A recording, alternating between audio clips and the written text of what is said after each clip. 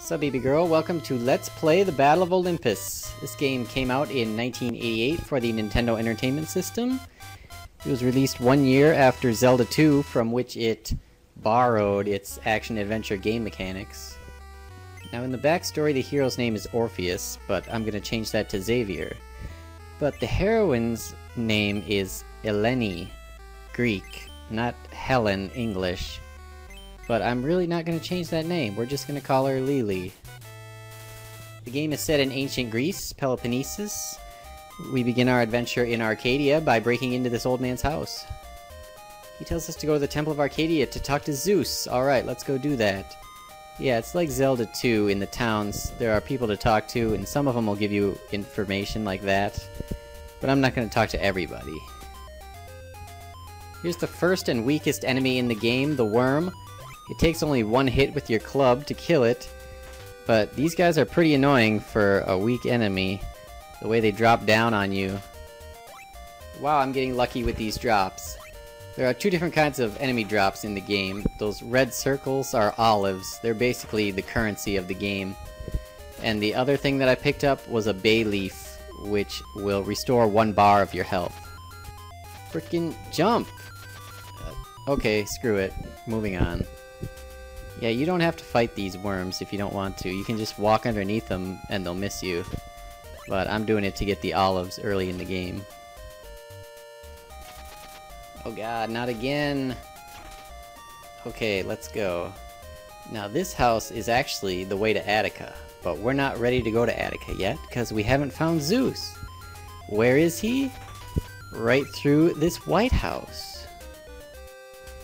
But before we get to Zeus, we have a transition room, and... Boss time! Against the bull, Taurus! Now his attack pattern is that he'll either pump his leg twice, like that, or he'll charge right at you. But the good news is it takes only four hits with your club, and he is gone, and we've got access to Zeus! But you can't just walk up to Zeus like he's a mere mortal. You have to kneel before him because he's a god. And all he's gonna tell us is that he's gonna tell the other gods to help us. Okay. And if you talk to him again, he gives you the password to continue if you die. But in the Peloponnesian world, I'm sure Xavier is wondering why does he have to remember this 26 character string? And what the boss time again? I killed this guy! Well, screw it, I'm not fighting him again. Well, I messed it up, but you can jump over him. It's about 50-50. I'm not gonna restart the game just because I mistimed one jump. We're gonna move on to Attica! Oh god! These little bears with their spears are the most annoying enemy. Even if you know the pattern, it's difficult to avoid getting hit by them. Anyway, let's stab this girl in the face, and she'll tell us that we're in the city of Eleusis. And a little ways down the road is Athens. Indeed, Athens is where we want to go, but what are we going there for? Maybe the guy in this house will tell us. He tells us that the Shield of Athena will repel our enemy's weapons.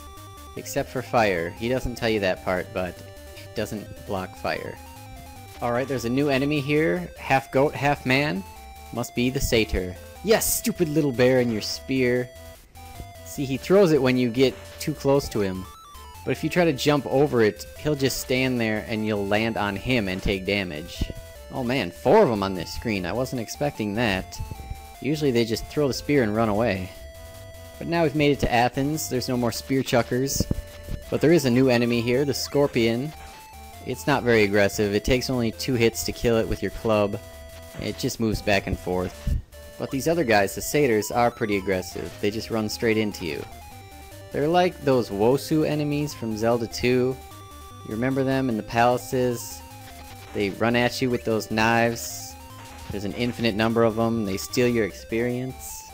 Yeah, those guys are easy, but they annoy you. I've been a little sloppy here and taken a few hits, but it's somewhat intentional because there's something I want to show you at the fountain. Did you hear that sound? If you kneel in front of this fountain, you will have all of your health restored.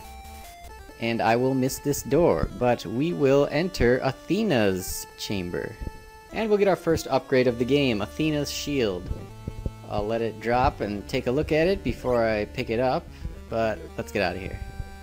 Now the shield isn't essential to beating the game, but we're just playing through it normally. This isn't another one of my tool-assisted speedruns. And by the way, you can use the fountain again to recharge your health. Right here's one of the best spots in the game to grind for olives, but I'm not going to worry about that right now. Let's go in this house and talk to this old man. Kelios, wasn't he the king of Eleusis? What do you mean I have to prove I'm Xavier? Take my fingerprints. They had that in ancient times. Well, I guess I'll look out for something, but we'll deal with that another time. Right now, we're gonna get back to Eleusis and put this Shield of Athena to use. Don't mind me here, I'm just collecting a few extra olives while we're backtracking. Might as well, but remember what this shield does. The guy said it will reflect enemy projectiles launched at us. So let's try it out. Oh, what now, little bear? Yeah, you better run off screen. I'm coming to kick your ass, little bear. Well, now that we're back in Eleusis, we need to go down the stairs. There's somebody that we should talk to. I could have talked to them earlier, but I just went straight for the shield. Character acceleration works the same way as Zelda 2, so I wanted to build up some speed to make sure I didn't botch that jump. Anyway, sup girl?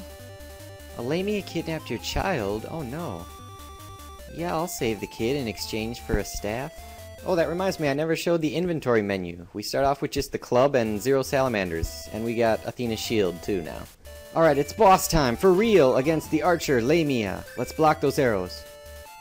See, the way that I fight her is let the arrow hit the shield, jump the second arrow, take your shot, and get back before the third arrow hits you.